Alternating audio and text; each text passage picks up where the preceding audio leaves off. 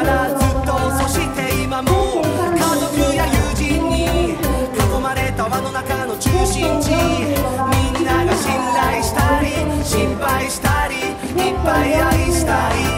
小さな失敗なんて問題じゃないし何より君という存在が大事だから見失っちゃダメ人生始まったばっかだぜ君が今